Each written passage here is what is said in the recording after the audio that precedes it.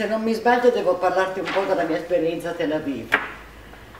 Beh, è stata naturalmente molto interessante perché non ero mai stata in questa zona, non avevo mai avuto rapporti con, con gli israeliani, eccetera. È stata tutta una scoperta interessante, con persone intelligenti e, e che hanno risposto con, con, con vera cordialità.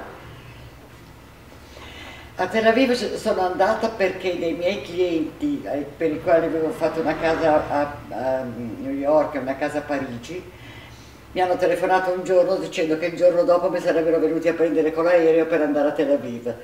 Per loro io dovevo pro progettare un appartamento e quindi si, si, si lavora facilmente con loro, c'è una comunicazione facile e loro accettano anche i consigli che vogliono favorire l'immagine che ho dato del loro appartamento. Quindi non, non, non è stato affatto sgradevole, anzi è stato gradevole.